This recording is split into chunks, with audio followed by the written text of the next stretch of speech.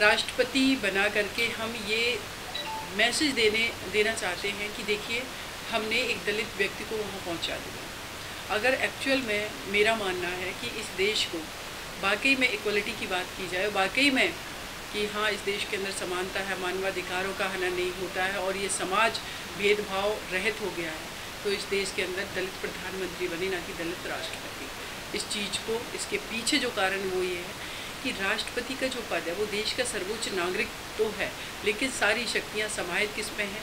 Cabinet में और प्रधानमंत्री के पद में। उनकी मनसा उनके रिकमेंडेशंस पे, उनकी एडवाइज पर काम करते हैं प्रेसिडेंट ऑफ़ इंडिया जैसा कि ब्रिटेन में एक सिंबॉलिक पद है, वहाँ पर राजा का, रानी का, महारानी का होता है। उस तरीके का पद है। तो जिस पद का हम यूज़ ही नहीं कर सकते देश के लोगों के विकास के लिए, वहाँ से कोई काम नहीं वैसा किया जा सकता। वो सिंबॉलिक तौर पे तो वहाँ पर किसी को हम सिंबॉलिक तौर पर ही तो बैठा लेंगे कि ये symbol of the SC community symbol of the ST community वही तो आप भी देखा किस तरीके से ग्लैमराइज किया गया जब द्रौपदी मुर्मू मैम का अपॉइंटमेंट किया उसमें, उनका जो किया गया सिलेक्शन हुआ इसमें राष्ट्रपति जब बनी है। हम सभी ने देखा कि किस तरीके से पूरी पार्टी ग्रम, ग्लैमराइज कर रही थी। देखिए, देश में पहली बार कोई एसटी कैटेगरी का बना, नो डाउट, बन रही है।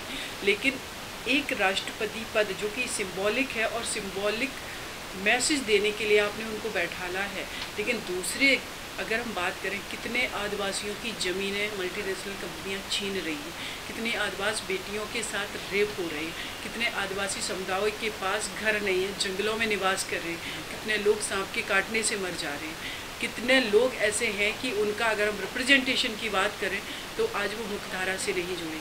तो एक्चुअल में जो ग्रास रूट लेवल पे जहाँ कमियाँ हैं उनको फुलफ़िल करते हुए कोई उस व्यक्ति को इस काबिल बनाया जाए कि वो अपने आप जा कर के राष्ट्रपति के चुनाव की फाइट में आए।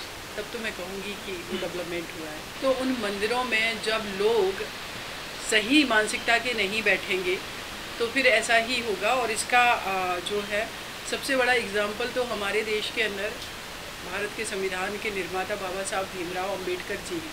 उनको भी घड़े से पानी नहीं पीने दिया जाता था। ये भी सच है। लेकिन बाद में उन्होंने जाकर के देश ही नहीं पूरे विदेश में पूरे विश्व में नाम किया अपना भारत का संविधान लिख दिया है।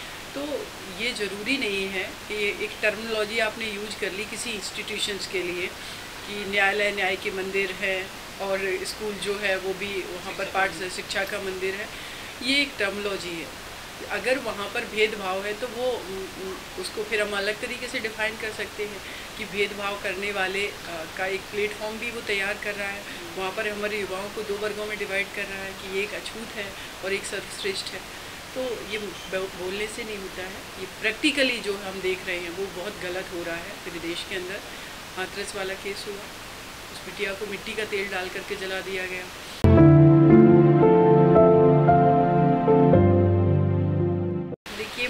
महोत्सव ये सब इंसान को अपनी चीज़ों को सेलिब्रेट करने का तरीका है, लेकिन इन रियलिटी अगर बात करें पूरे भारत में तो इंद्र मेघवाल बच्चे की आप बात करें जो राजस्थान में जिसको उनके टीचर ने ही, जिसको कहते हैं कि शिक्षा देने वाला व्यक्ति जो है, वो चाहे तो एक मिट्टी के घड़े से कच्चे घड़े को इस देश का भविष्य बना सकता है। लेकिन ऐसा व्यक्ति जब एक बच्चे को, जिसको हम कहते हैं कच्चा घड़ा है, उसको जैसा हम बनाएँगे, लेकिन वो टीचर उस स्कूल में क्या मानसिकता फैला रहा है? उसने एक बच्चे को इतनी तेज़ मारा कि वो बच्चा हॉस्पिटल में एडमिट रहा, उसकी कान की नस पड़ गई और बाद में वो बच्चा डेथ कर गया। तो ये मानसिकता जो है वो दर्शाती है कि हम कितना भी महोत्सव बना लें, कितना भी पूरे देश को सजा लें। लेकिन जो अंदर की सजावट है, वो है यहाँ पर कि हर ह्यूमन बींग को, हर इंसान को उसके मानवाधिकारों की रक्षा की जाए, उसको जीने का अधिकार हो, उसको गरिमापूर्ण तरीके से जीने का अधिकार हो। लेकिन जब ऐसा होता है तो ये यही मैसेज आता है कि हम अभी भी बहुत पिछड़े हुए हैं। मानसिकता यहाँ लोगों की इतनी दूषित है कि छोटे बच्चों को भी छुआछूत से अछूता नहीं रखते वही ये केस जो राजस्थान में हुआ रिफ्लेक्ट करता है कि नहीं ये तो इनको हम नहीं छूते ये तो अछूत हैं। पूरा देश नहीं विश्व भी देख रहा है। कैसे अछूत हो गए? एक तरफ़ हम कहते हैं कि ईश्वर अगर एग्जिस्ट कर रहा है तो वो ईश्वर की सभी संतान है। तो फिर एक अछूत, एक सर्वश्रेष्ठ कैसे हो गया? ये आर्टिफिशियल जो चीज़ें हैं वो हम लोगों ने गढ़ी तो जो चीज़ें हमने गढ़ी हैं, जो तो उनको ख़त्म भी किया जा सकता है। इसीलिए बहुत ज़रूरी है कि जाति उन्मूलन जो है इस देश के अंदर बहुत आवश्यक है। लेकिन सर, पिछहत्तर साल हो गए देश को आज़ाद हुए, एक दलित घर तक नहीं पहुँच पाया। राष्ट्रपति बन गए हैं बिल्कुल सही बात है। देखिए राष्ट्रपति हम आर्टिफिशियल चीज़ों में ज़्यादा विश्वास करते हैं। लेकिन चुनाव आते ही मोदी जी पैर धोते हैं सफ़ाई कर्मियों के और उनके घर में खाना भी खाने जाते हैं जो बीजेपी के बड़े नेता है दलितों के घर भी। तो करें समानता ला रहे हैं लोग के साथ में वोट लेने का एक तरीका है। अगर ऐसा होता अगर वाकई में हमारे देश की प्रधानमंत्री जी की मंशा सही होती तो इस देश के अंदर जितना भी लोग जो नालियों में उतरते हैं, सफ़ाई कर्मचारी, सबसे पहले उनके लिए वो मशीनरी की व्यवस्था करते जिससे पूरे गटर में उन लोगों को ना उतरना पड़ता आखिर आपको उनके पैर धुलने की ज़रूरत क्यों पड़ी? इसका मतलब है कि आ कि सिर्फ़ दलित समाज के पैर गंदे हैं। इसका मतलब क्या है? इसका मतलब है कि आपने उनको ऑलरेडी गंदगी में छोड़ा हुआ है ना? आप उनके लिए मशीनरी लाइए ना? तो एक तो भेदभावकारी चरित्र है, दूसरा आप दिखावा कर रहे हैं। ये सिर्फ़ पॉलिटिकल स्टंट होते हैं, इसके अलावा मैं इनको कुछ नहीं मानती। जो महिलाएँ सपोर्ट कर रही हैं, उन महिलाओं का एक बार बैकग्राउंड देखिए। वो महिलाएँ, वो सब महिलाएँ सपोर्ट कर रही हैं, जो ना तो फिनंसली स्ट्रॉन्ग हैं, ना मेंटली स्ट्रॉन्ग और इस काबिल होने दिया गया, ना उनका कोई सोशल स्टेटस है। वो महिलाएँ वो हैं जिनकी निर्भरता पूरी तरीके से अपने पतियों, बाप, बेटों के ऊपर है। वो व्यक्ति चाहे क्रिमिनल हो, चाहे कुछ भी हो, जब वो जेल से छूट के आएगा, कहीं से आएगा तो उसके लिए सर्वे सर्वा वही है।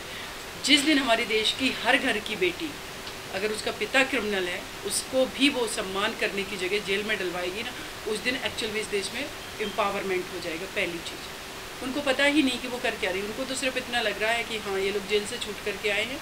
मेरे परिवार के सदस्य हैं, हमें इनका सम्मान करना चाहिए।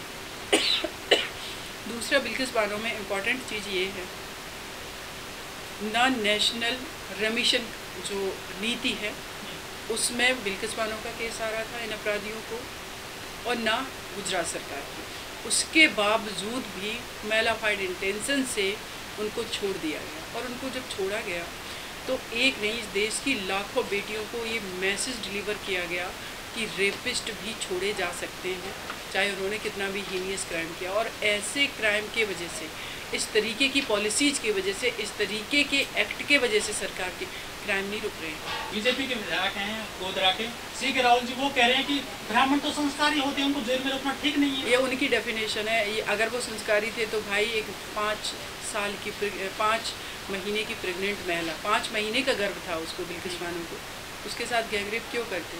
तीन साल की बच्ची को पत्थर से पटक के क्यों मारते एक ही परिवार के सात सदस्यों का मर्डर क्यों करते बिल्किस बानो, उस मोहल्ले के ये रहने वाले लोग थे, जो अपराधी हैं, ये लोग उस मोहल्ले के रहने वाले जिनको वो चाचा ताऊ भैया बोलती थी। कहाँ गए थे संस्कार? ये संस्कार ये नहीं होते। संस्कार, वो व्यक्ति भी संस्कारी हो सकता है जो एक्चुअल में मानवता की रक्षा करता मैं संस्कारी मानती हूँ उस जस्टिस को, जो रिटायर होने के बावजूद भी बिल्किस बानों के फेवर में खड़े हो रहे हैं। कुछ लोग कह रहे हैं कि उनको छोड़ा जा सकता है ग्यारह आरोपियों को जो इनमें ब्राह्मण भी हैं तो विकास विकास दुबे की गाड़ी क्यों पलटाई? फिर उसको भी बचा लेते देखिए इन सारी चीज़ों पे ये मुझे लगता है कि इनसे मैं कमेंट से ज़्यादा बचना चाह रही हूँ। मेन जो फोकस है कि देखिए हमारे देश के अंदर हम ट्वेंटी फ़र्स्ट सेंचुरी में हैं। सरकार आप लोगों का चैम्बर है यहाँ नोएडा में मैं बैठी हुई हूँ। सामने हमारी भारत की प्रेमनल है भारत का संविधान जिसमें लिखा गया be the people of India हम भारत के लोग हम भारत के लोगों ने संविधान को मिलके बनाया है। और इस संविधान में जो प्रावधान है, समानता की बात कर रहा है मौलिक अधिकारों की बात कर रहा है नीति निर्देशक तत्वों की बात कर रहा है सबको इक्वलिटी की बात कर रहा है, इसमें एस सी के लिए रिजर्वेशन की बात है, उनके रिप्रेजेंटेशन की बात उसका सही मायने में ईमानदारी से पालन हो जाए तो शायद मुझे लग रहा है इंद्र मेघवाल जैसा बच्चा मनीषा वाल्मीकि जैसे केस होना बंद हो जाए। इसीलिए बाबा साहब ने एक बात कही थी कि ये संविधान हमने बड़ी शिद्दत से बनाया, दो वर्ष ग्यारह माह अठारह दिन में तैयार किया था। जब उन्होंने संविधान सभा को, वो संविधान सौंपा तो एक बात बोली थी कि हमने बहुत शिद्दत से बनाया है संविधान को और इसमें उद्देश्य बहुत अच्छा है, लिखा बहुत अच्छा है, सब कुछ समाहित है। लेकिन इनको लागू करने वालों की अगर मनसा ठीक नहीं हो तो हम इसके उद्देश्यों को प्राप्त नहीं कर पाएँगे। वही है, ये जितने भी काम हो रहे हैं ना, इनकी मनसा खराब चाहे वो इंद्र मेघवाल का केस हो मनीषा वाल्मीकि का केस हो बिल्कुल पानों का केस हो, उन्नाव गैंगरेप मर्डर केस हो, निर्भया वाला केस हो सारे केस उस भेदभावकारी रवैया यही रिफ्लेक्ट करता है कि हम हर लेवल पे फेल हैं। स्पेशली हमारे देश की एक बहुसंख्यक आबादी, जो कि अभी भी शोषित, पीड़ित, वंचित है, जिसके साथ अनटचबिलिटी की प्रैक्टिस है, उसको हम मुख्तारा में नहीं जोड़ पाए क्योंकि लोगों की मंशा ठीक है बीएसपी का फोकस राजस्थान पे रहेगा या मध्य प्रदेश पे या हिमाचल प्रदेश पे? ये हमारी देश की जो तीसरी बड़ी पार्टी बीएसपी है उसकी राष्ट्रीय अध्यक्षा बहन कुमारी मायावती जी जो भी कर रही हैं हम सब लोग उनके साथ हैं। फोकस हमारा पूरे भारत में है। पूरे भारत में मेरी पार्टी मजबूती से चुनाव लड़े और हम पावर में आए हमारी बहन जी प्रधानमंत्री बने। ये हमारा उद्देश्य है और इसके लिए हम सब एकजुट होकर काम करें